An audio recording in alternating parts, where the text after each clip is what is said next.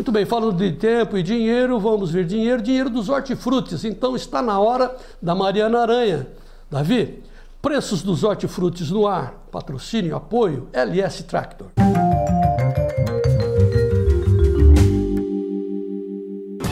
Oferecimento LS Tractor. Tratores projetados para o hortifruti. Muito bem, Mariana Aranha, muito boa tarde, seja muito bem-vinda.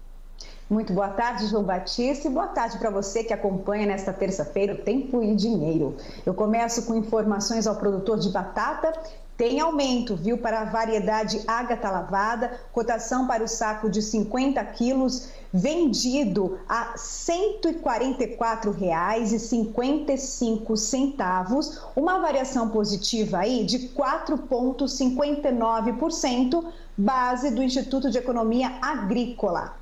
Vamos para a batata Asterix lavada, também com alta, preço de R$ 148,50 no saco de 50 quilos, um aumento verificado ainda maior, de 6,79% ao produtor. O mercado da batata segue firme e o aumento nos preços acaba sendo reflexo do volume menor de batatas no atacado, por conta, como eu disse ontem, do fim da safra das águas aumento significativo também para o tomate. Para a variedade italiano Extra A, tomate vendido a R$ 2,20 o quilo, índice elevado e uma alta de 18,92%. Uma alta expressiva para o tomate italiano e o tomate tipo Débora Extra A também em alta, segundo o Ceagesp São Paulo, preço de R$ 2,21 e um aumento no preço de 2,79%.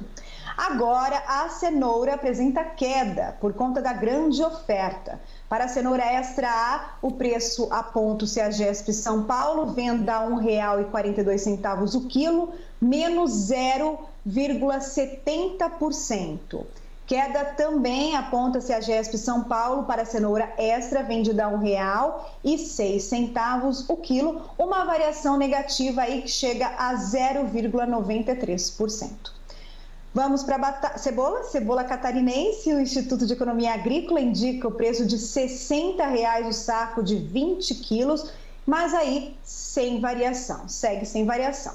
Cotação para os ovos, fonte CPEA ao produtor, Ovo vendido, ovo branco vendido a R$ 125,35, 30 dúzias, queda verificada de 1,67. Mercado dos ovos segue fraco ao produtor e, a cotação do ovo vermelho comercializado a R$ 145,56, 30 dúzias, queda para essa semana registrada de 2,63%.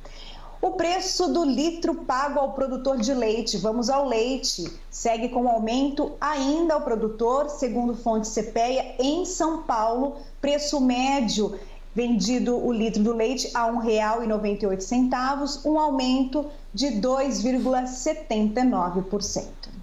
Nesta terça-feira, eu falo da uva, fonte CEAGESP São Paulo tem registro de aumento para a variedade Niágara, Uva Niagara vendida a R$ 4,68 o quilo, aumento de 2,63%.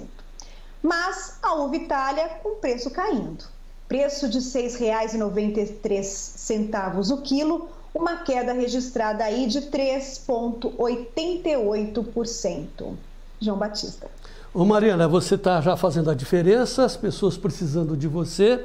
E nós temos uma mensagem aqui do Miguel Zonzin Neto, ele é de Buritizeiro, Minas Gerais, dizendo assim: João Batista, será que a nossa amiga, a Mariana Aranha, poderia falar dos preços da lima ácida Tahiti, como a gente conhece aqui como limão Tahiti? Então limão fica, Tahiti. a gente fica aí com esse Sim, pedido. Sim, amanhã eu trago informações para o Miguel, especialmente do limão Tahiti. Pronto, combinado. Muito obrigado, até amanhã então, Mariana.